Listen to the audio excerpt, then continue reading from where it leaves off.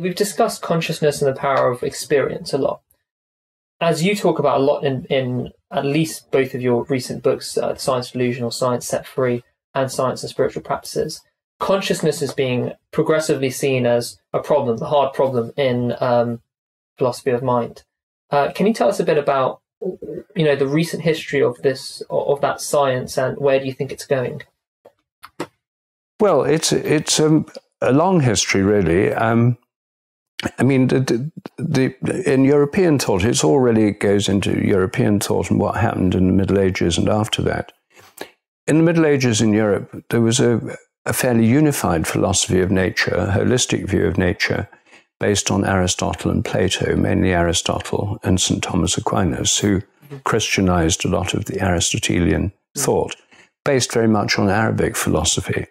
Um, and this gave a view of a living world, living animals and plants as truly alive, the whole earth as truly alive, living nature, and God as relate, a living God relating to living nature. Mm-hmm. The 17th century revolution in science gave a completely different view of nature. It gave the view of the whole of nature as an automatic machine. God started it in the first place, um, designed it like an engineer, pressed the start button, and then the whole universe was supposed to have carried on mm. like a machine with no soul, no spirit, and no consciousness, just made of unconscious matter, mechanical. But the founders of modern science in the 17th century, like Newton and Descartes and Robert Boyle and Kepler and Galileo, were not atheists. They were, they were Christians. Uh, but they had a very dualistic view of God separated from nature. So there were two realms nature made of unconscious matter, and the world of spirit, which was not material, not in space and time, and contained three elements God, angels, and spirits and human minds. Mm-hmm. And human minds were the only thing in the physical, natural world which were not mechanical, material, and unconscious. Yeah. So, this, as you know, is usually called Cartesian dualism after Descartes. Um, and that uh, led to a sort of reasonable mode of coexistence between science and religion. People could go on being scientists and t- talking about mechanical nature. They could go on being religious.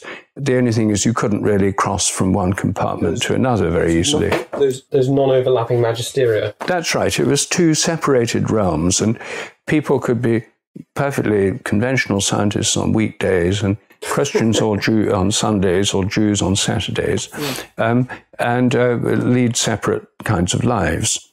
And uh, basically, this split has been exported from Europe to the rest of the world. When I lived in India, I worked as a scientist in a scientific institute. My colleagues were mainly Hindus and Muslims, a few Sikhs and Parsis. But basically, they'd learned the rules of the game. When you're at work, you don't challenge the mechanistic view of nature. You just go along with it. Conventional scientists, as soon as they left work, they became pretty conventional Muslims or Hindus or mm. Sikhs or whatever. Um, and they lived in two worlds, two compartments. Well, anyway, in the 19th century in Europe, uh, an increasing number of people said we don't want two realities, we just want one. Um, one is more true than two. Um, and so they said, uh, some of them said, well, there's only spirit. Instead of spirit and matter, we just have spirit. And that was the idealist philosophy. Only consciousness is real. Matter's kind of dumbed down mind. And that was surprisingly common in 19th century Europe, particularly in Germany. Um, but the other school said, no, forget about spirit. You can't measure it, you can't see it, you can't weigh it. Uh, it just doesn't exist. There's no such thing as God and angels. There's just human consciousness. And that's basically not very different from animal consciousness, and it's just a matter of the brain. So at one stroke, they got rid of God and angels. And the main reason in the 19th century for people signing up to this materialist uh, atheist view was political. In France and in Russia, particularly, the governments there claimed that their authority rested on uh, God, on the church, on religion. Um, and they were oppressive autocratic regimes.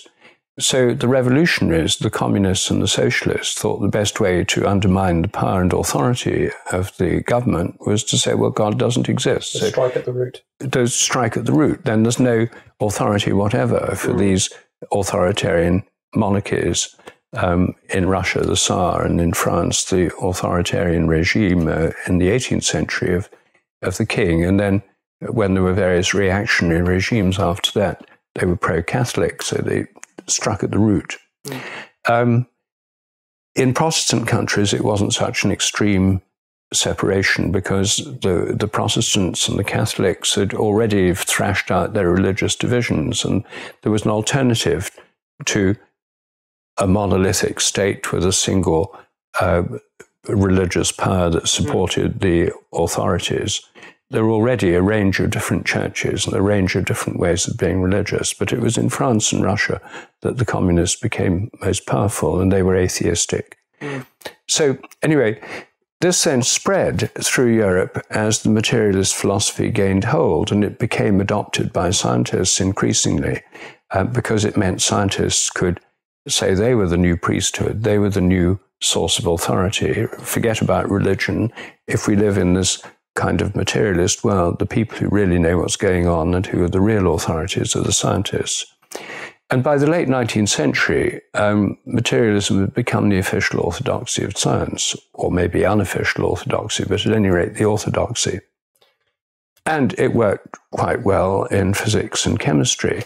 Um, it's never worked terribly well in biology um, because it's never fully explained biological development uh, the idea that evolution is just chance and blind forces is not persuasive to a lot of people.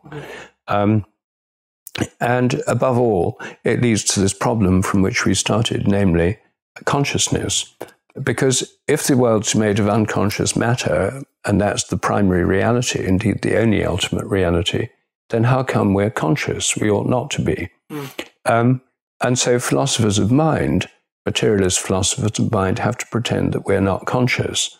Either we're not conscious or our consciousness does nothing. It's just like a shadow, mm. um, doesn't do anything. It's an, a, like a kind of epiphenomenon of the activity of the nervous system.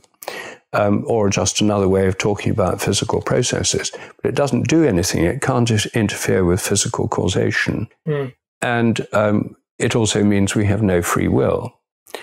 So, incredibly, this is what large numbers of intellectuals persuade themselves must be true mm. and try to persuade others that it must be true, uh, even though if we have no free will, it's hard to see how we could be persuaded of anything. Thanks for watching this clip of Rupert Sheldrake talking about the history of materialism. Check out our other clips from him or watch our full interview. We've got loads more content on these topics here at Rational Religion, so make sure you have a browse and subscribe.